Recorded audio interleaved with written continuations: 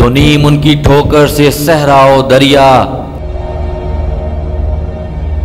सिमटकर पहाड़ इनकी हैबत से राई।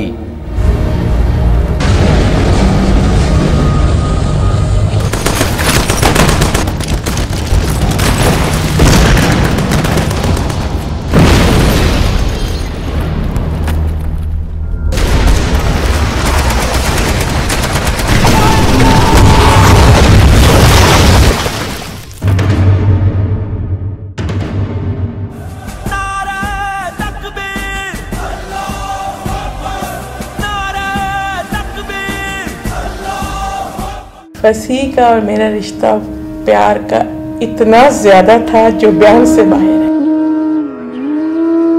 वो माशाल्लाह मेरा इतना नेक और ताबेदार बेटा था कि करोड़ बेटे भी खड़े करें तो ऐसा बेटा नहीं मिलेगा।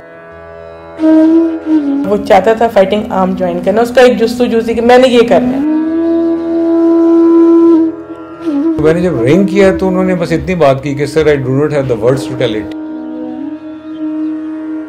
और बाबा ने मेरे कंधे पे हाथ रखा और कहा, हमारा बेटा शहीद हो गया अल्लाह का शुक्र, अल्हम्दुलिल्लाह कि उसने शहादत का रुतबा पाया।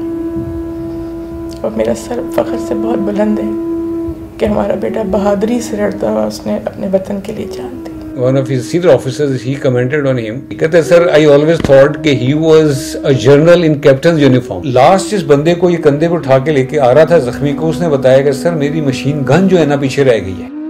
ब्रिगेड कमांडर बताते हैं, इसने कहा कि, सर, ये हमारी मशीन गन वहाँ पे है। ये बड़ी बेइज्जती की बात होगी कि हमारी जो मशीन गन ये लोग उठा के लेके जाएँगे तो मैं इसको लेके आए तो इतनी दूर नहीं है। एक माँ होने के नाते तो आप खुद समझ सकते हैं कि उसको बर्दाश्त करना कितना मुश्किल है। दर्जा भी तो शहादत का है, बोझ तो है, अपनी जगह पे है, बरकरार है और बरकरार रहेगा। जब जाने लगा, दरवाज़ा खोला, नीचे उतरा, स्टेयर्स आधी नीचे उतरा था तो मैं खड़ी हुई थी तो दोबारा वापस लौट के आ गया।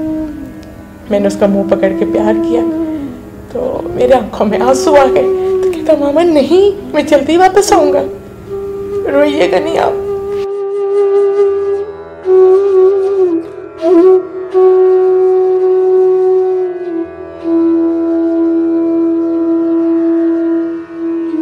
आपसे उसकी शहादत के बाद ही हुई। सोल्जर्स की फीलिंग ये थी कहते हैं कि सर हमने इससे बहादुर ऑफिसर नहीं देखा है। उसने हमारी खातिर अपनी जान कुर्बान कर दी।